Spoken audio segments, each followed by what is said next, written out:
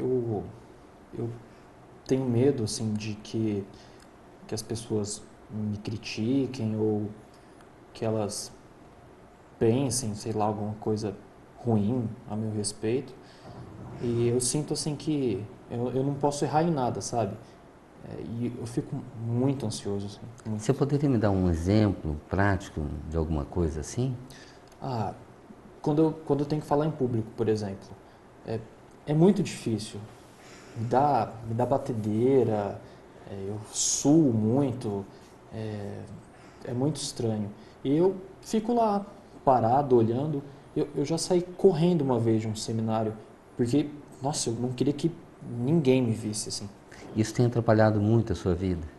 É, tem atrapalhado muito, viu? É, parece que falta ar no peito às vezes, assim. Eu, eu quero melhorar, sabe? Eu queria poder interagir com as pessoas, mas é, é muito difícil. Existem outras situações que você fica ansioso, mal desse jeito? É, ah, comer em público, por exemplo, eu, eu tenho medo de, sei lá, derrubar comida, tremer e as pessoas olharem para mim. É, eu também tenho medo de, por exemplo, comprar roupa em loja, assim.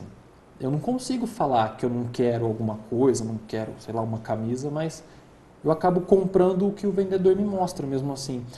Às vezes, sabe, é melhor eu prefiro comprar pela internet, que é muito mais fácil e eu vou sofrer menos assim.